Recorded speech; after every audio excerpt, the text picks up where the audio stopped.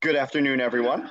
I'm Nick Foster, the interim director of the Wilton Historical Society, and along with my co-director of the Wilton Historical Society, Allison Sanders, I'd like to welcome you all to the third of this year's five-part history lecture series entitled Tycoons, Bane or Benefactors. On behalf of the Wilton Historical Society and the Wilton Library, I'd like to thank Moira and Kevin Craw, who are the generous sponsors for this lecture. And I'd also like to thank all of you who donated as part of your registration. Your contributions would help make this program and others like it possible. So thank you very much. I'd also like to thank the planning committee that organizes the lecture series, which is now in its 15th year. A lot of work goes into every step of creating and executing these truly, this truly excellent series. So I'd like to sincerely thank all of their efforts. Now, just one note before we actually begin, please take note of the Q&A function that should be at the bottom of your screen. Um, there will be a moderated Q&A session at the end of the lecture. So please type any questions you have um, either during the lecture or when the Q&A session starts.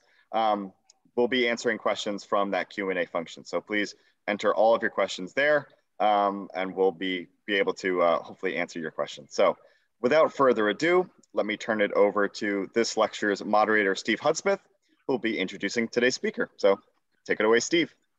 Oh, thank you very much, Nick. And a warm Wilton welcome to Julie Fenster. She's new to us as a presenter to this series that is now in its 15th year. An alumna of Colgate, Julie is a prolific author of a half dozen books. Half of those books have a biographical focus on major historical figures, like Louis Howe's relationship to FDR and to Eleanor Roosevelt, President Jefferson's commissioned expeditions like the Lewis and Clark one, and a notable murder case tried by Abraham Lincoln that helped propel him to a national stage. Other books of hers focus on scientific fields, like her award winning one on the development of the field of anesthesiology, and another more general medical one on those who brought medicine into the modern age. And even more generally still, on the spirit of invention and the thinkers, creators, and dreamers who formed our nation. That's quite a remarkable range of writing. And now she has kindly turned her attention for our benefit here today to tycoon Henry Ford and his co-tycoon at Ford Motor Company, the much lesser known James Couzens, who may represent the angel on Henry Ford's shoulder that kept Ford moving in socially beneficial ways and whose loss allowed Ford's darker side to grow unchecked. But Julie will bring that speculation on my part into sharp focus for us today. Lest you think that Julie is a stranger to things automotive, she's written two books on that subject too.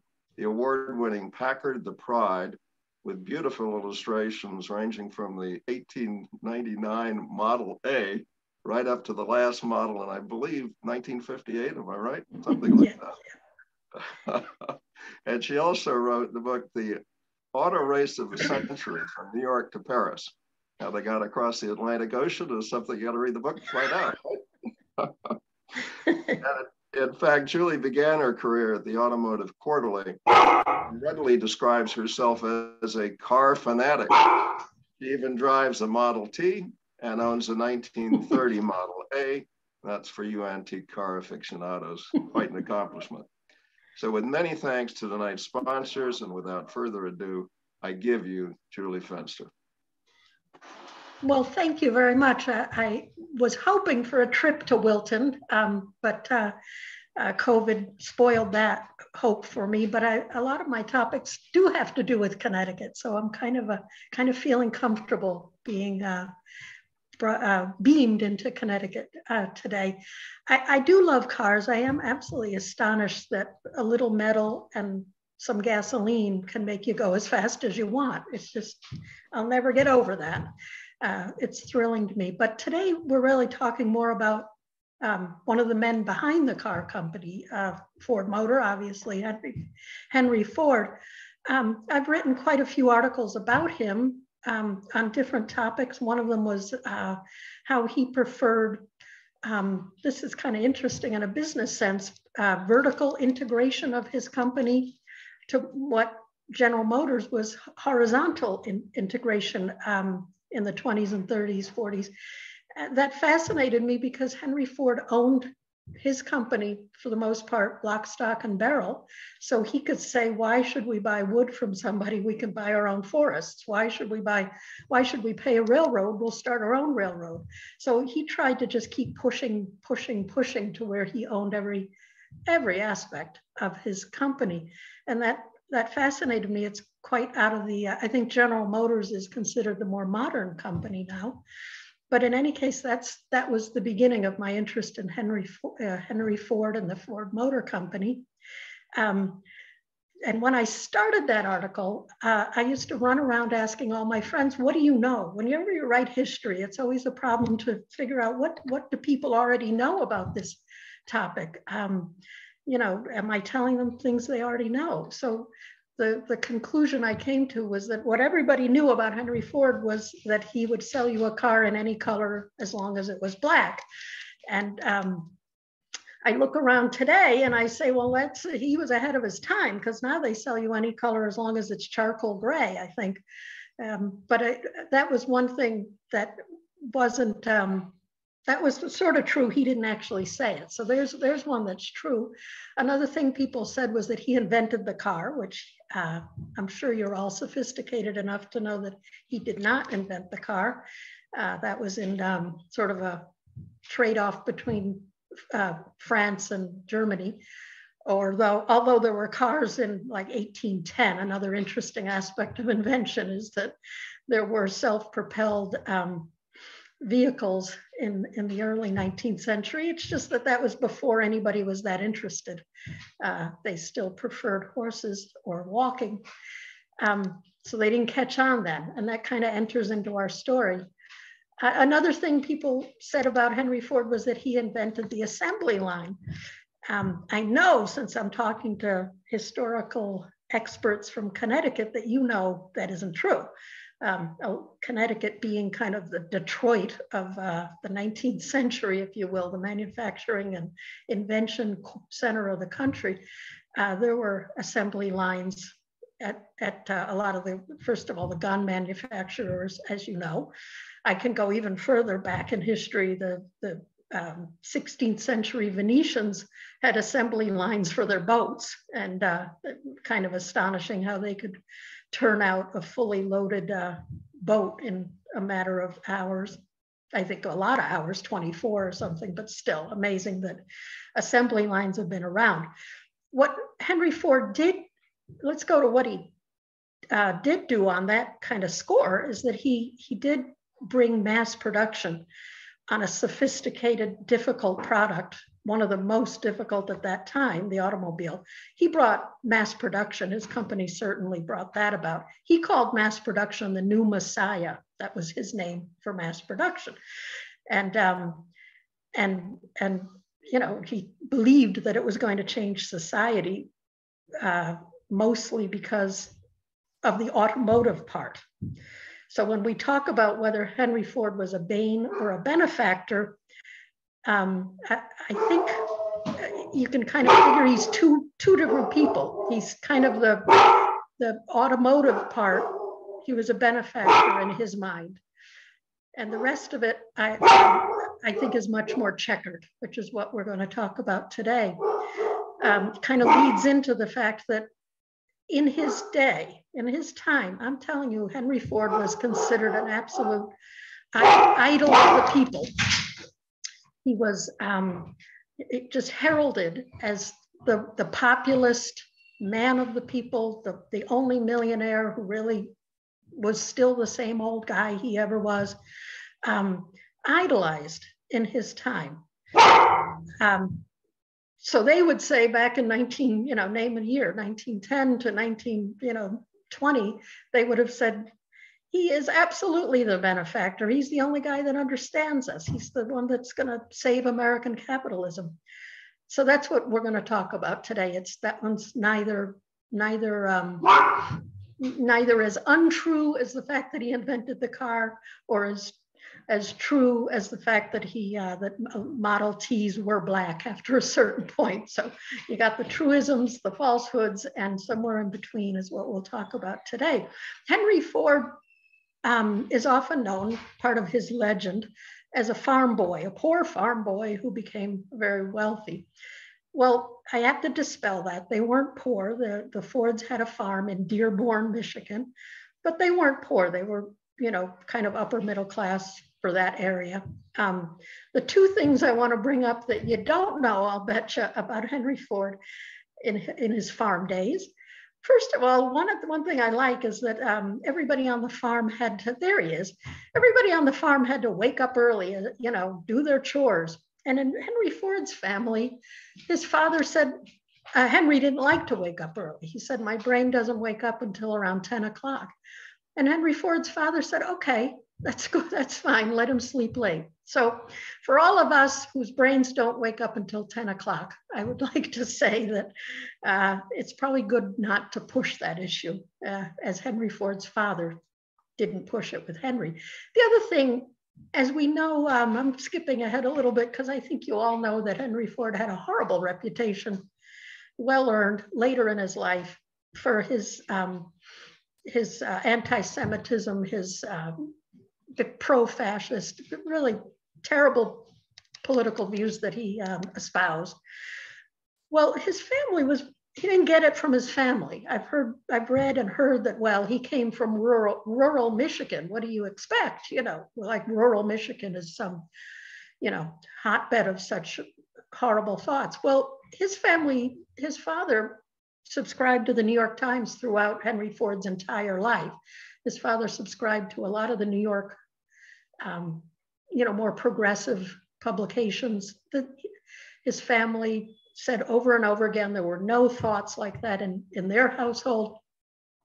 So the farm he sprang from, I don't want to say was some some you know answer to the whole uh, whole issue of Henry Ford's um, uh, you know adulthood. He he was well brought up, but he had a lot of choices and came from a a good um, I would say liberal-minded home in the in the small L sense. They they were they were um, they were not Hicks. Uh, so Henry Ford was absolutely fascinated with mechanical things, anything mechanical. He took apart watches, you know, uh, before I even, you know, at an age when I couldn't even tell time, he was already taking apart watches and putting them back together um, as a very, as a little boy. Uh, so he went to Detroit, the nearby city of Detroit, and went through the process then, which was not to go to school to learn mechanical arts, but to, you know, serve an apprenticeship and become a journeyman, and then um, strike out on your on your own as a career, what they called a mechanic then, not meaning a mechanic on automobile things, but a mechanic on anything. Um, and of course, as he I say, of course, because a person of his ilk, someone who um, who loved mechanical things, well, when he read about cars, you know, in Europe and then seeping over to America, but more so when he saw the first car that came to Detroit, it was love at first sight, to to use the cliche. But he really thought, you know, that now that is worth dedicating your life to, and he he immediately, you know, looked at every car, talked to car people, built one. You know, I tried to build one, did kind of build one. I mean, it it it ran, um, and uh, I got involved in racing. I'm kind of skipping ahead a little bit, but between the racing he and the talking and getting involved with cars, he really got an excellent reputation as someone who knew their stuff. He knew he, he in Detroit, he was known as one of the more advanced thinkers on automotive um, technology, such as it was back then. And such as it was back then was that people built a car one at a time. Um, uh, one mechanic, now we are on mechanics, but one mechanic would walk around the factory, pick up the parts and put them on a car. And when he was done, you know, sort of shout out, well, I got one, you know. Um, so there was a plenty to do in making this a more efficient process. Uh, so Henry Ford started one or uh, a, a, car company, sort of one and a half car companies, and they didn't do well. But no matter, because in those days it was sort of the computer era of what we knew in the you know 1980s or 90s or something where yeah they car companies came and went but that didn't ruin your reputation uh, if you if you were on one that had had went.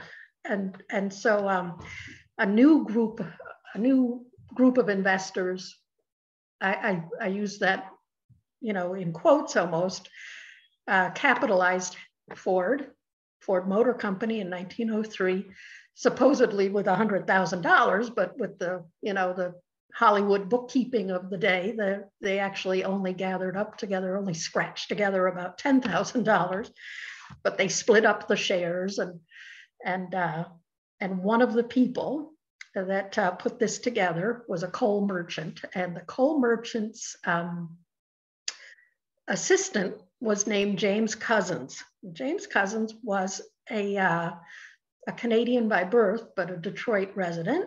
And here he is on, on your screen. Uh, Henry Ford, of course, is on the right, kind of a beanpole, and James Couzens is on the left. And Couzens, uh, you know, took this took this company. You know, he had they gave him two and a half percent of the stock as a kind of a just a gift, if he would be one of the original workers at the company, sort of running the office. They called him the secretary treasurer. And uh, uh, he sank his teeth into the Ford Motor Company and knew that this was everything he ever wanted a new business. Uh, his background was uh, a couple years at a business school and then um, simply wanting to find a business. Did James Couzens love cars the way Henry Ford and I do? Uh, no, I don't think so. I think he wanted to get involved with a business where he could grow and grow and apply his phenomenal energies and, and um, organizational ability. So, um, so James Cousin, Couzens kind of went from being someone who, yeah, he had a job and a couple shares of stock or a, couple, a percentage of stock, but it could have gone in, in any direction. He's the one that turned himself into a kind of a, a definite human locomotive at, at Ford Motor. He, he was the one that got things done and uh, other personalities dropped away and it kind of devolved down to these two men you see before you. Um, in, in most ways, Henry Ford was known that he was never at his desk. He was always wandering around the factory floor trying to improve the three or four models that the Ford Motor was making back then. He wasn't, he didn't like to be in his office. He liked to be on the floor of the factory or in the design rooms. James Couzens was just the opposite. He was, you know, working the phones, working the telegrams, working everything to build up a sales force, to, you know, find ways to ship all of these cars all over the country. So I guess what I'm saying to anybody who's ever had a great idea for an entrepreneurial venture, you can't get a better person on your staff or a better partner than James Couzens because he's the one that that uh, did all of the all of the things that let the creative side, the Henry Ford side, really stretch and go.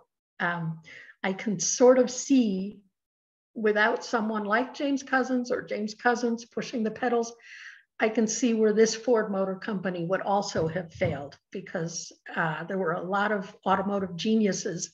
I'm not saying they were equal to Henry Ford, but there were a lot of terrific ideas. But there weren't that many companies that lasted more than a two or three years in those days. And uh, so if you ever start a company, look for look for the bulldog like Bill, like Couzens was.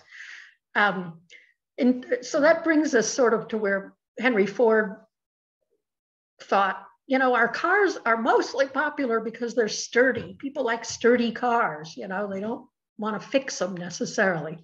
And he gave that, he really did have an epiphany by all accounts saying, I want to build a car that isn't very expensive, but is high quality, not luxurious, but made of the best metals, the best designs, put together in the best way so that it's it's not going to break. And also, you know, everybody today has off-road vehicles or at least all-wheel drive or four-wheel drive or any old drive. Um, one of the terrific aspect, aspects of Henry Ford's car was due to the suspension and um, to some extent the transmission. It could go anywhere. It was delightful in that way. It could really be a, uh, you know, an off-road vehicle. And that was a pretty good selling point at a time when there were not many roads. So an awful lot of people needed a quote unquote off-road vehicle. They didn't have driveways. They didn't have, um, they didn't really didn't have paved roads. Uh, a lot of places just depended on railroads. You, you somehow got yourself into town, took a railroad wherever you were going. I took a train wherever you were going. Um, so the, the, the, that shows the little divide in these two men in terms of their job responsibilities. But now I want to bring out the fact that Henry Ford's reputation as, as and again, we're kind of, I'm talking about the fact that he was the idol of millions, um, truly, that the working man considered him, you know, a best friend because he was one of us. He wasn't just another tycoon, he was one of us. So how did all how did that reputation, folksy Henry Ford, uh, as a benefactor, you know, extraordinaire, how did that come about? And I credit um, uh, James Couzens, which is very interesting beyond the automobile, you know, history because the subject of who gets credit for things is absolutely fascinating and mysterious in everything we do. You know, I, will never understand why the people who do the least often get the most credit, and that's that's something I'm pretty sure you've seen as much as I have, and it's not being bitter or you know telling tales. I'm more just saying it's really fascinating how the how the tides go to go in a certain direction. And maybe in this case we can see how, because in three respects that I can mention, James Couzens built the reputation of Henry Ford. While Henry Ford was on the factory floor, uh, unquestionably bringing about the mass production we just said he uh, considered the new messiah. Um, James Couzens, it, uh, here's the first thing. In those days, there was something called, if there are any lawyers out there, called the Selden patent.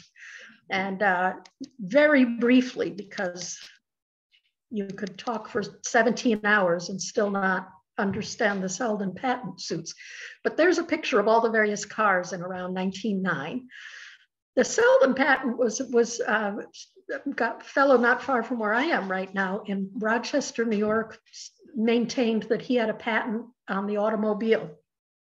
And for a couple years there, every car you see before you now would have to pay a certain amount of money, a fair amount of money for those days, $50 or so, to get a certificate that said that it had complied with the Selden patent. And you can understand this was worth a fortune um, the Ford Motor Company, fledgling as it was, just getting into the um, the Model T Ford. Let me just take a drink here because I'm I'm blabbing too much. But um, the the Ford Motor Company was going to pay the patent, you know, rights for each of their cars and get the little certificate that everybody put on their dashboard and it was um, it was James Couzens who, though not a lawyer by trade, studied the law backward and forward, and he was the one who said Ford Motor is not going to comply. He's he um, he came up with the idea of promising every customer if you are ever stopped or incur any kind of penalty for not not uh, having your certificate that says you paid money for the Selden patent, uh, we will pay it. We will more than pay it. And uh, we guarantee that. And through means like that and plain stubbornness, uh, James Couzens was behind the fact that Ford Motor broke the Selden patent. Uh, and you, that was considered a David and Goliath kind of move that, again, Henry Ford was credited with being the, the slayer of the, the dragon on that. um, the, the second the second thing that Couzens did, again, I'll start with what Henry Ford was credited. Henry Ford was credited. Here's the here are the here are the first uh, investors, I mean, I'm sorry, workers, uh, office workers at the Henry, at the Ford Motor. And, and our hero, James Couzens, is on the right. Um, the other two are the kind of investors and early workers that I mentioned, you know, could have stayed with the company and made a fortune, but they drifted off uh, as people do. And James Couzens dug in his fingernails and said, this is my future. Uh, but Henry Ford um, is, is often credited, I mean, he is credited with the fact that anybody anywhere could get a Ford. Uh, I, am going to amaze you, or at least amaze myself, by saying that uh, as of 1911, I think it is, any city, every city in America bigger than 1,000 population had a Ford agency. So you say, well, you know, it's not a dealership like our mega dealerships today, but they had a person who had a connection, who had credit enough to order cars from Ford Motor. That's astonishing. Uh, and how did they do it? Well, James Couzens came up with this idea that they went to a, he would, he or his staff would go to a bank in every town of more than a thousand people and say, here's what we'll do. Ford Motor will deposit a considerable sum of money, of cash in your bank. We're not guaranteeing any kind of loan or credit, but you'll have our money in your bank and the prestige of having our money in your bank. And all you have to do for that is to find someone and give them credit. give them credit to start a Ford agency. Well, it worked. It worked. Banks wanted that cash. And for that cash, they would find some responsible person, businessman in town, often someone who had some other business as well. And, uh, and so Fords were everywhere. It was the most egalitarian automobile of its time. You know, there, there, it wasn't a, often cars are called in those days a rich man's toy. I don't know that all of them were a rich man's toy. There were inexpensive cars even in first years of the century, but it was much more of an urban.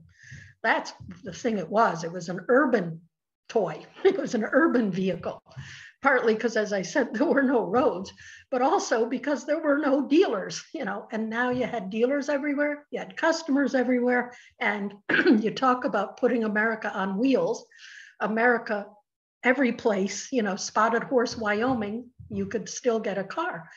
And Henry Ford was just beloved, beloved by, by Americans for that. So I'm giving credit to James Couzens for that uh, incredible innovation. Um, and the third thing, which was uh, so explosive in its day, is that um, if you go to the next slide, the, Henry, the Ford Motor Company I'm not going into the statistics. Oh, there's James, there's James Couzens. Uh, I laugh because he was known as being extremely irascible. They called him the, Henry Ford called him the bear behind his back. He was all business all the time. And um, if he said, I want to come see you, that's what you would see when you opened his office door and you didn't want to because he really expected 100% perfect work all the time. Um, but he, um, but the Ford Motor Company was succeeding. You know all of that. I could astonish you with, you know, how many how many cars they were turning out. It was amazing. Henry Ford did a great job. People like Charles Sorensen and some other people have come down in history for just uh, proving how efficient American manufacture could be. But for all of those cars they were building, and for all of the advances in mass production, it was machinery. It was the introduction of machinery. So car in the space of 12 years, maybe less, thanks to Henry Ford, thanks to the Ford Motor Company, uh, an automobile worker went from being a person with a kind of a fascinating or at least very intriguing job. You'd start with a chassis and you'd go get each part and you'd put it on and it was quite interesting. And then you, when you were done, you were done. And man, they're, they're, that's the kind of production they had. and uh, that's the Ford Motor Company, Ford factory at Highland Park. but now you introduce machine after machine, they say every single day a major, some kind of machine was introduced. Machines were introduced such that there was barely room, barely room for people, for the, the workers.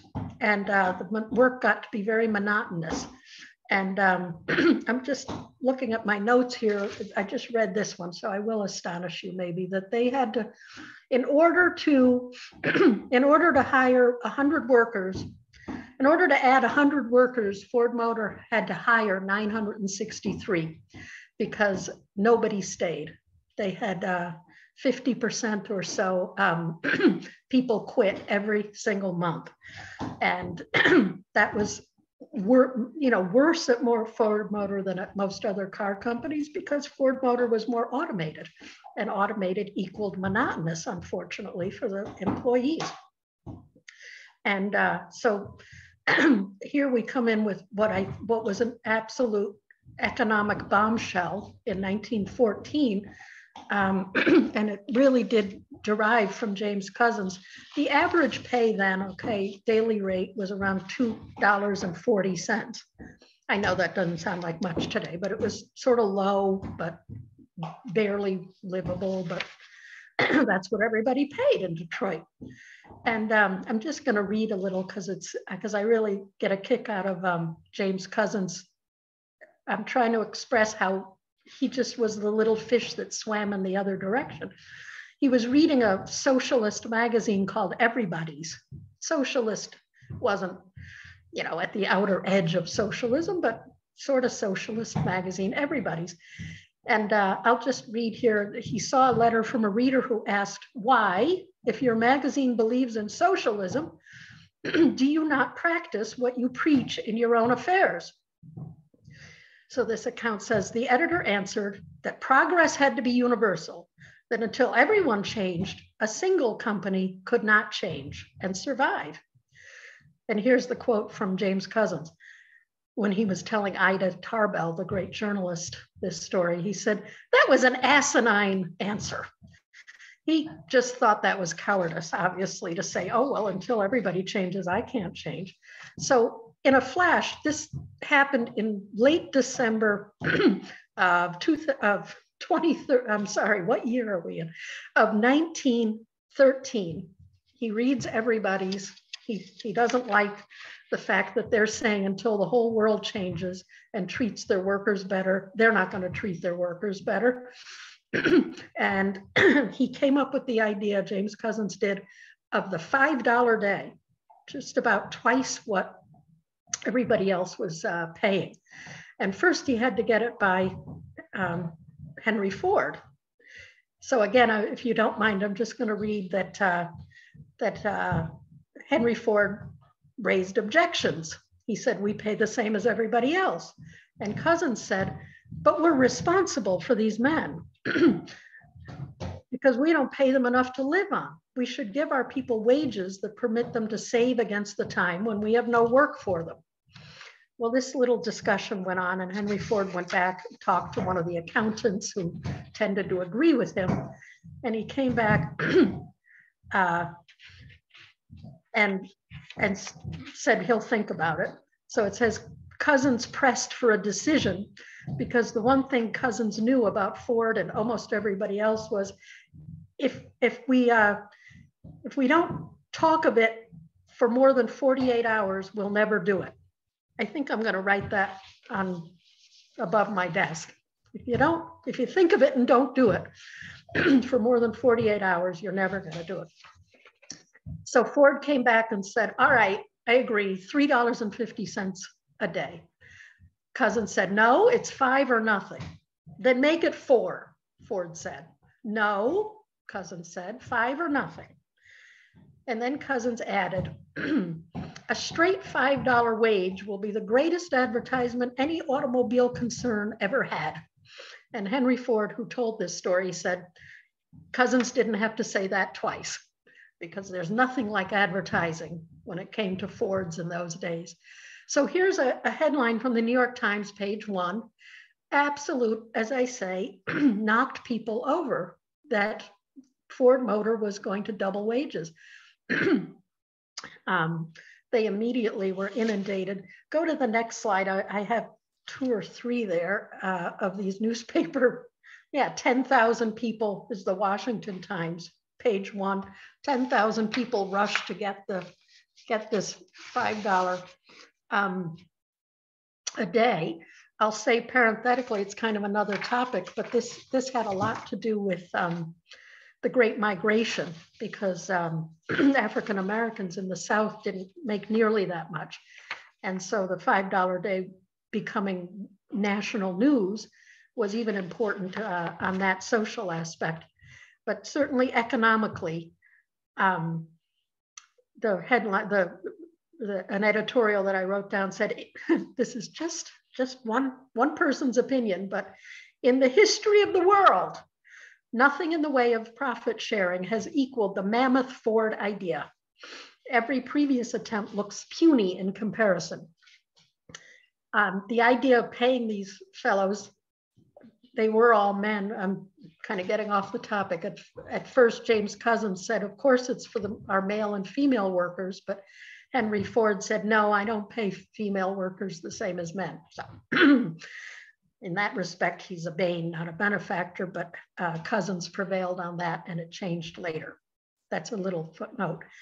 But uh, um, the $5 day was an enormous success. It gave the Ford Motor Company pick of the litter for, for all of the workers. It gave them, uh, uh, the, the, attrition rate went down to, you know, something like it, it had been 50% a month, it went to 3% a month. Um, productivity went way up. They didn't, they saved so much money. I think I have a quote here somewhere, but Henry Ford called it the greatest cost cutting measure ever. And economists at the time other other tycoons, other company owners who were, you know, just spitting bullets that Henry Ford had done anything like give his workers a living wage. They were furious. So when he maintained that it was actually a cost-cutting measure to pay your workers right so that you didn't have so many labor problems, um, it became at least a little bit more uh, of, a, of an economic reality that that you know you you'd share your profits with your workers. You you weren't i think henry ford said you didn't want a company that was all uh, slave drivers and and millionaires he didn't you know he he got it to that extent and uh, and so the the five dollar day isn't spoken of a lot today but yet i think it, it had sweeping ramifications you know, even up to our day as far as expectations on labor. And the fact that, yeah, you can get, you know, what everybody's paying, quote unquote, is no longer a, an excuse or, you know, not an accepted one because there are other levels to your business than just pay the people less. You know, you can get, you can, as Couzens did, you can see where it is. Um, it is so much better for the bottom line to actually pay your workers better. That was revolutionary at the time. Again, Ford got credit for the $5 day, uh, but at least our crowd today knows where it really came from. Um, and so as I wrap this up, put on another picture of a Model T Ford, because that's, yeah, how can you not? I like to look at cars. Um, after, uh, so Cous- uh, James Couzens had a, you know, a, a big fight with um, Henry Ford. Uh, it was actually, it was actually kind of political in nature, um, and uh, and he quit and took his thirty million dollars and went into politics and philanthropy. He, he gave a fortune to all kinds of children's charities and children's hospitals. And that's that's what he worked on. And then he was a senator for about the last dozen years of his life. He died in, I think it was 1936. Henry Ford, meanwhile, um, you know, we don't have time to go into it today per se, but sort of the, the real Henry Ford came out. Uh, so many people said there were two Henry Fords. One was positive and one was very dark. And in the 20s, the, the very dark Henry Ford came out. Um, with the he bought the local newspaper Dearborn Independent and turned it into um, a national uh, periodical for fascist views and just virulent, ugly, stupid anti-Semitism. Unfortunately, it, it really did find an audience, and I'm, you know, I'm, I'm one of the many people who can never understand why, why, why did he have to do that, except that he had this other side. Um, also, his relationship with labor, if you go to the next slide, the Ford Motor Company dropped the $5 day, at, at, you know, uh, or the idea of profit sharing. and this is a picture, um, I think it's 1941, but there was labor strife, horrible labor strife throughout the 1930s. um, at the Ford Motor Company in particular, they were they were pretty openly violent. Uh, and so again, sort of the real Henry Ford came out, Bane, not benefactor. Um, so sort of overall, as we conclude, and there's one more picture of a car there.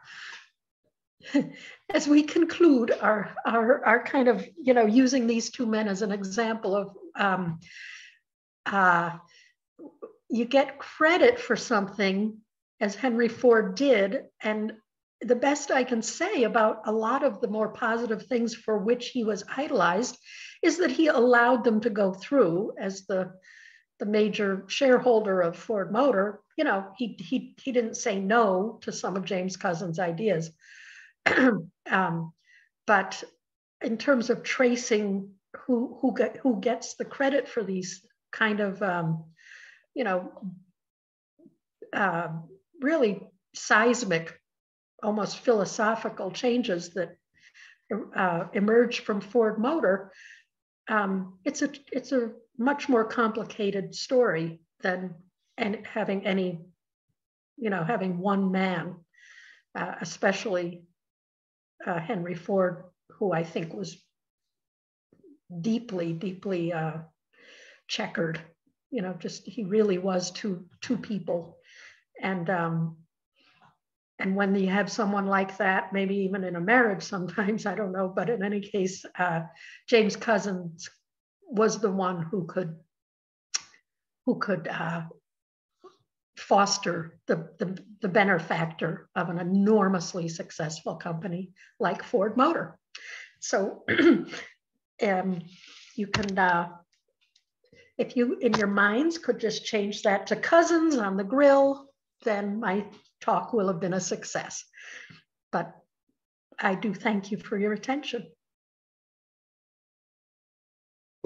Are there any questions or Steve?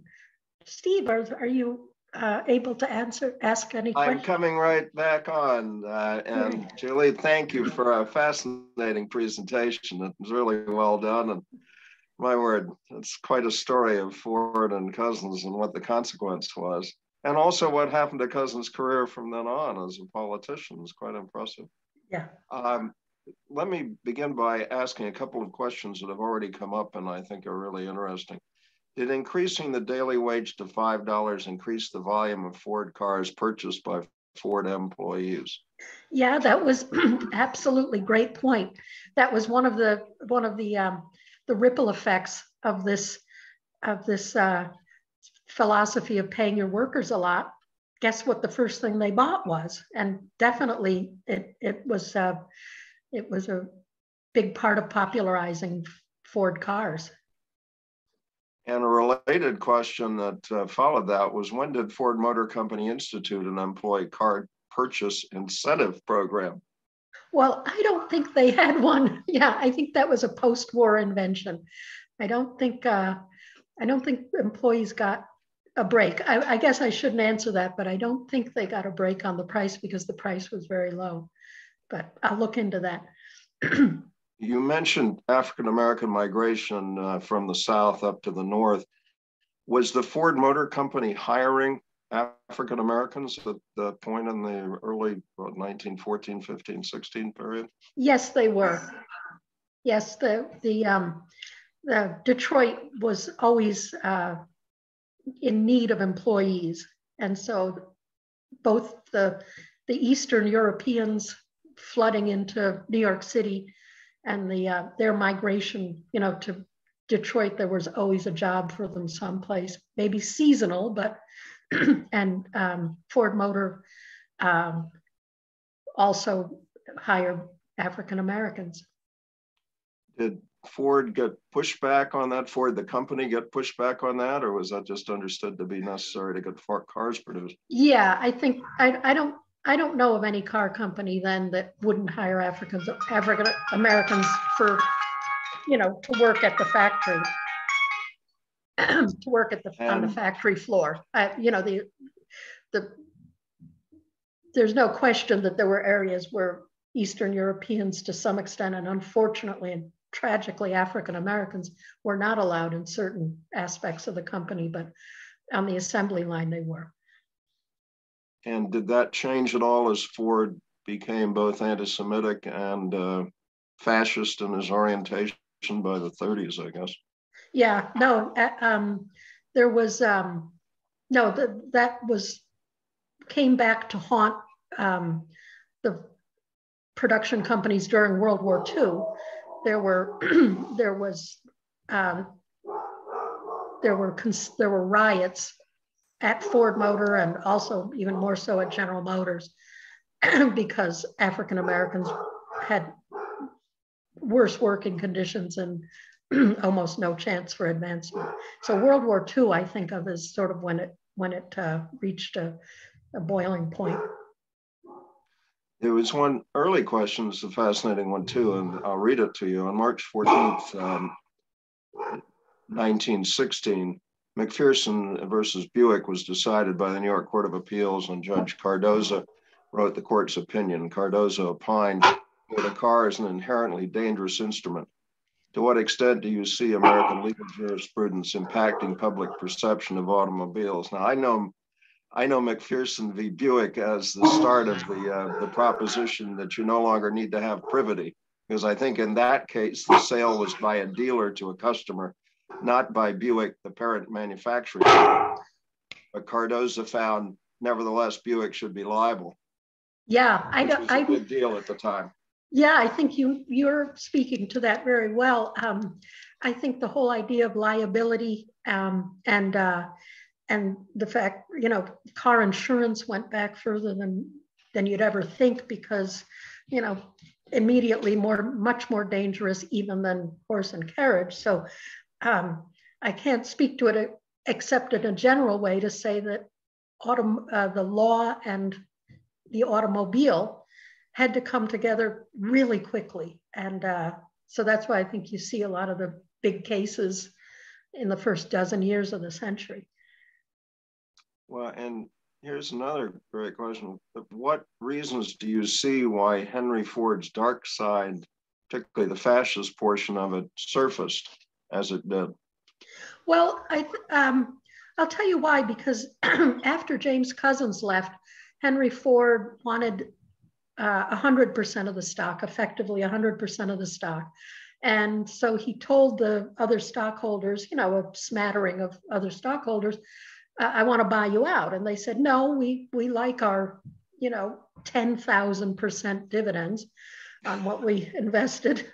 And so what he did was he said, uh, I'm no longer going to make the car um, under the Ford Motor Company name. I'm going to make the car under another name. I mean, he was playing, you know, hardball.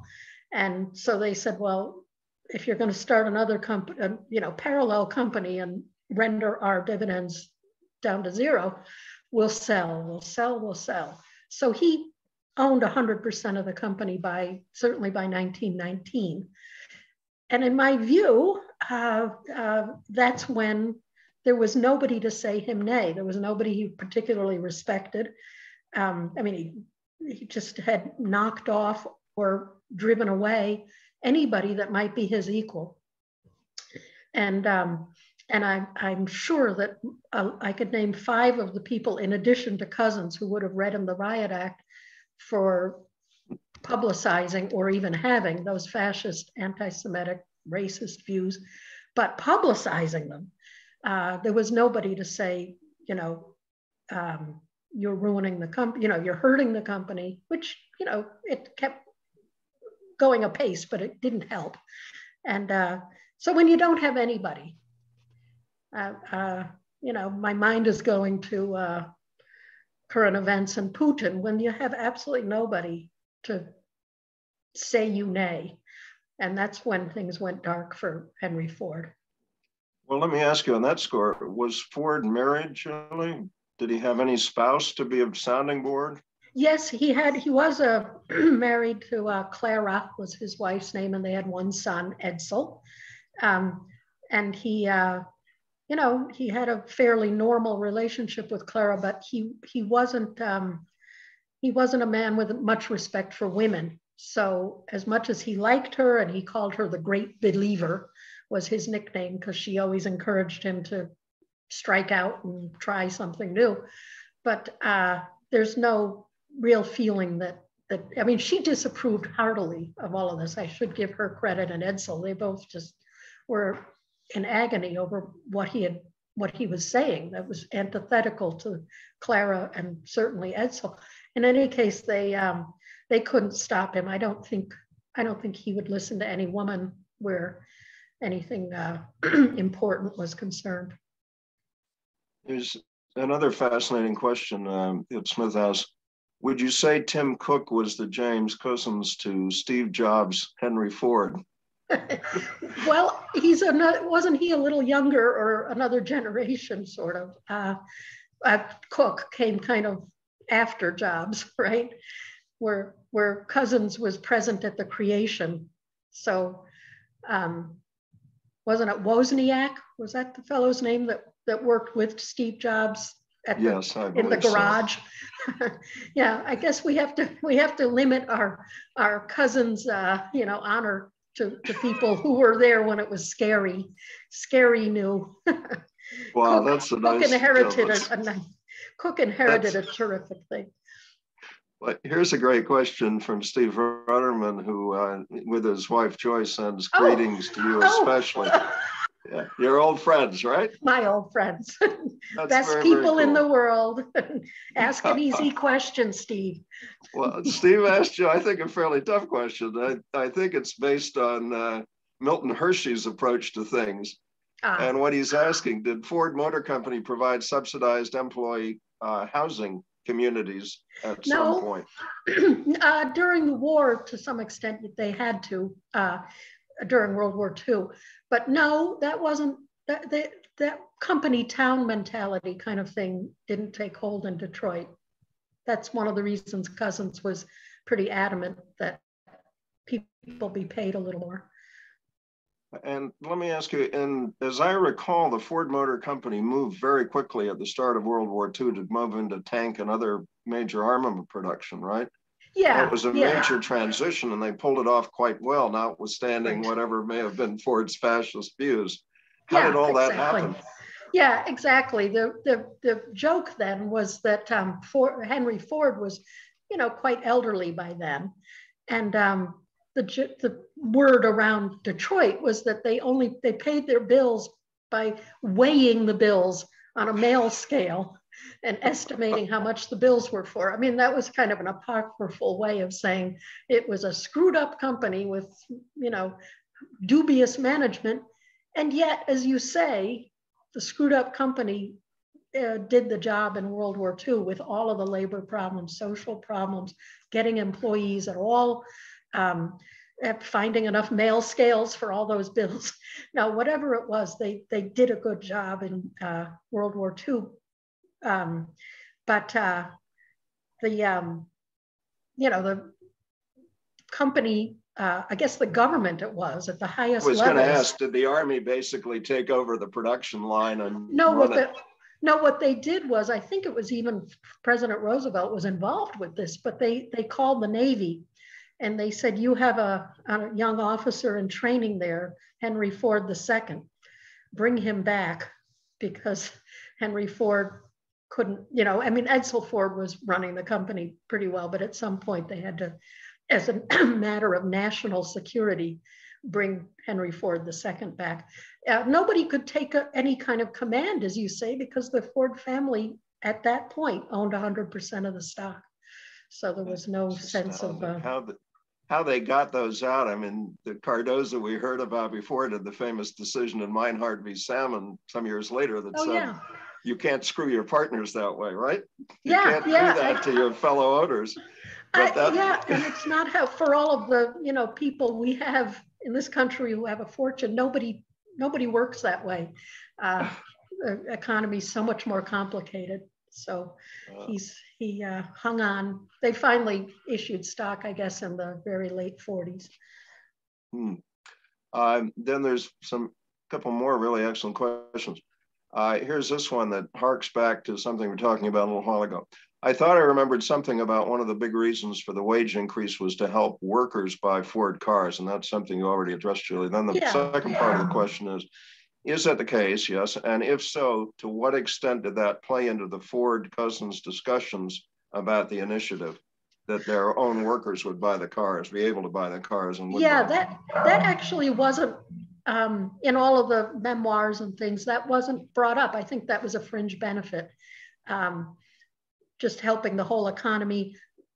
I've even seen studies where the five dollar day, whether the employees bought the cars or not, the number of uh, Model Ts that were purchased in the near Ford factories went way up because all those workers were spending more money at their groceries and spent suddenly there was just more money and whether it was the Ford workers or somebody else, people used that first couple hundred they ever got to buy one of the cars.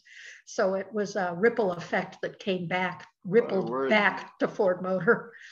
Ford was a multiplier for the whole economy. That's pretty impressive, and not just in Dearborn, but well beyond, I gather. Right, right. That's that's exactly right.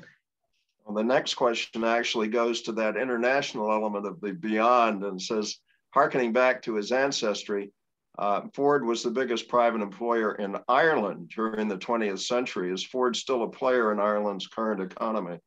Uh, it is, um, and one of the reasons it was a, a big player in in Ireland was that uh, Ford was involved with tractors, and one of the big companies in Ireland, big manufacturing company, maybe the biggest in the 20s, was Ferguson Tractors, and Ford bought that out, uh, and and and that's how they they started growing, not only their own tractor business, Fordson over over here, but became a big player in Ireland.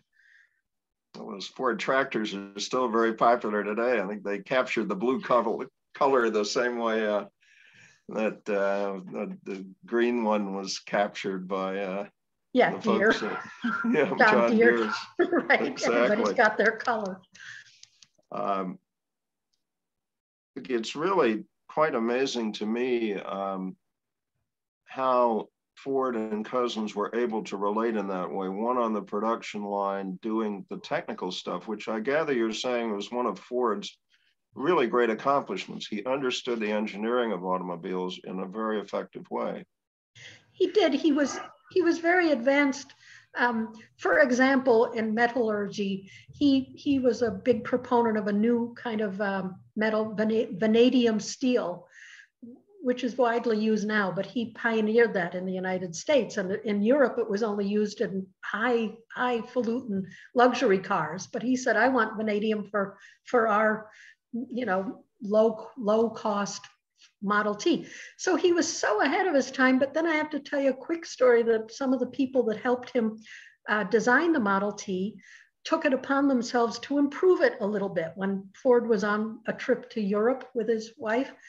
And when they got back, they rolled this car out. It was a little longer, a little different, but not too different, but improved.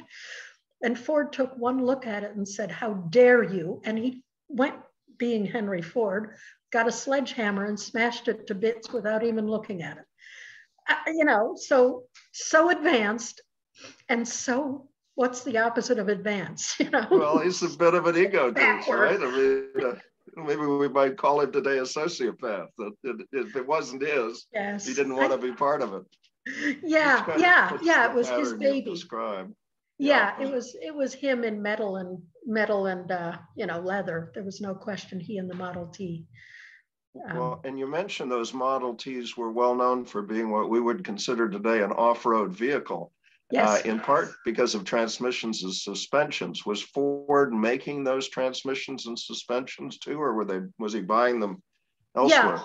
Yeah, yeah. Well, in the early days of the automobile, almost everybody made things off by buying things off the shelf, and even Ford was buying his motors from Dodge, the Dodge brothers, before they made their own car. But um, but uh, the transmission, he he was advanced in that way. He adopted the planetary transmission, which mm. is back back in favor again today.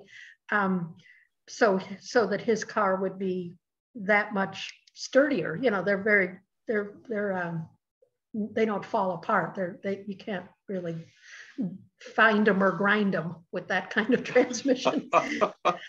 was he using his, his molybdenum steel in that too? Is that part of the reason they were so uh, good? No, I don't think that was in that part, but I'm not sure. But but little by little, he took over every aspect so that he wasn't buying parts from, you know, as few outside parts as possible, maintaining the quality and upping the obviously the profit when did the movement towards something other than a Model T? I know the Model A and I, but having a line of different vehicles, when did that start to be part of the automotive scene? Yeah, for Ford, uh, you know, not in a big way till after World War II. To some extent, mm-hmm. that started um, in the later 30s, but really, they, you know, even the Model A was a single. Then, you know, they came out with the Ford 8. Uh, so there's um, there's you know ways to look at the 1930s, but basically they weren't. Of course, they had they did have Lincoln. Don't forget. Uh, I should throw in they did have their their luxury line. How did companies like to take you to your other topic of great interest in the automotive area? How did Packard, relatively little company with a high-end vehicle, how did it survive in that environment? Well, it um, it, it, a lot of people would say it didn't really survive too well after World War II. I mean, I would be one of them. They kind of, I always think of it that Packard kind of ceded its territory to Mercedes Benz. You know, all the same mm-hmm. people that buy Mercedes now were buying Packard. So uh, they were putting out cars, but they weren't as extraordinary as they had been before World War II as, as nice as they are, I don't want to insult anybody that has one, but a Packard was, uh, was an amazing, here's how great Packards were. James Couzens bought one after he left Ford Motor. so you know it was an okay car. My, my father had a used one he loved, 1949 Packard. Yeah, I, pride and joy. I, I just think it's marvelous that um, that if you had a Packard it, it sort of meant something, you know, it meant that you had indeed arrived in America. What and Ford, of course, is known for philanthropy too, as well as Couzens and Ford Foundation and the rest. How did that come to be? Was that his heirs who mostly did the philanthropy, or was it yeah. Henry Ford himself? Yeah, much more his heirs, but um, but he did um, underwrite the uh, Henry Ford Hospital in Detroit. So you know, he he had his projects, but Ford Foundation was um, a little later than his. Did he turn out in his later years to be a kind of curmudgeon? Um, or was he always one? I don't know. I think he was just an introvert. You know, I think he just got to be a kind of kept to himself. Um, his other philanthropy is something I'm sure a lot of people watching, you know, have enjoyed. But he he also uh, um, started buying antiques and things for the Henry Ford, for the Dearborn Village. So he, uh-huh. he sponsored that. He was a guy that said I wouldn't give a nickel for all the artwork in the world, but he he did have a museum. so, so if we were to go to the overall topic of the series, and you took Henry Ford, put him in the balance, Bane or benefactor, do you think oh. it's more bane than benefactor? Or I'm going to say I'm going to say benefactor to the whole country for um, really liberating a lot of people to lead whatever life they wanted in terms of uh, the freedom of the road. So I think he he did more, much more good. As far as his political views, I'm not. I think some of them are still around that he kind of planted, so I'm bitter about that. But at the time, he was suppressed for the moment by by much better people um, in you know the Roosevelt tradition, Franklin Roosevelt kind of tradition. Uh, kind of pushed aside the worst aspects of Henry Ford. They did not, they didn't take hold. Did I understand you to say earlier, Julie, that his attitude towards women in the workforce changed too over time? Uh, no, I don't think so. I think he he still still didn't want him. He was. I don't think he was keen. No, but he. Um. But but the women started to be paid. Uh, started to be paid more, and then finally um, for a little while got the $5 day. Well, and we have another interesting question here. How much wealth did Ford amass in comparison with other leading industrialists? I assume we're talking American industrialists yeah, think, time. Right. I think he was the richest man, America's only billionaire for a while, uh, for a long while before World War uh, II. So a billionaire back then was, oh. now they're a dime a dozen at least in my town.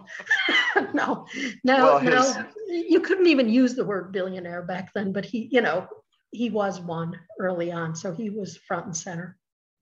Well, in his famous factory, I forget the name that was ascribed to it, but it had it was huge, right? By its time, it was un, unsurpassed in terms yeah, of River River Rouge. Output. Right. Yeah, the Rouge. That's the one. I'm sorry. Yeah. sure. Exactly. Yeah. Yeah. It was. Uh, yeah, every and he owned every every doorknob. So yeah, he was he was far and away the America's richest man. That is very very, very cool. Uh, uh part yeah. What? I was going to well, say partly because John Rockefeller gave away so much of his money. You know, he probably would have given him a run for his money, but that's. well, this has been an absolutely fascinating presentation, Julie. I thank you so much for the work you put into it and for telling us so much of this era. I mean, I've learned not only a lot about automotive, but a lot about what was happening in the world at the time that you've been talking about. oh, well, thank you. Thank you. And if mm-hmm. anybody watching comes through Manlius, New York, they can have a ride in a Model A. free with every talk, with every with every webinar, one free ride. if you come to Wilton, Connecticut, I'm glad to give you a ride in either a Honda Odyssey or a Honda Pilot. Statement well, of changing times, I suppose. They're good too. Well, thank you, Steve. It's been such a pleasure talking with you. Well, it's likewise for me, Julie. And I know that Nick is likely going to want to come on at this point okay. and uh, give us some closing words going forward. I will tell you the next presentation will take us into a, uh, a modern era. We've been talking history for the most part in these first three presentations, um, but we'll be moving forward in the next presentation into the modern era and talking about technology, particularly with a view to Zuckerberg and Facebook. Um, and our speaker for that, Dr. Harris, is quite an expert in this area. So it's going to be very, very interesting. And the last presentation will bring back Matt Warshauer, our professor at um, Central Connecticut State University, to wrap it all together and bring his own perspective to these fascinating presentations we've had and will continue to have in this series. So please stay tuned for the rest. Thank you all, and thank you to our sponsors. And to all of you, we look forward to seeing you the next time around. Yes, thank you, Steve. You, Steve can beat me to it. Um, so um, our, our next lecture will actually be um, entitled Mark Zuckerberg, Poster Child for Promise and Peril in the Tech Sector. Um, and that will be uh, offered by Professor Drew Harris, as Steve mentioned, of Central Connecticut State University.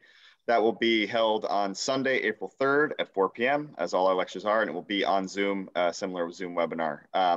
So if you haven't registered for that, and I highly encourage you to do so. Uh, you can visit either the Wilton Historical Society website or the Wilton Library website. We have registration links on both. Um, thank you to Steve and Julie for this wonderful discussion. Once again, um, another great addition to this fantastic series of lectures. Um, I thank everyone for joining us this afternoon, and we're looking forward to the next lecture. So uh, take care, enjoy the rest of your weekend, and uh, hopefully we'll see you on April 3rd. Take care, everyone.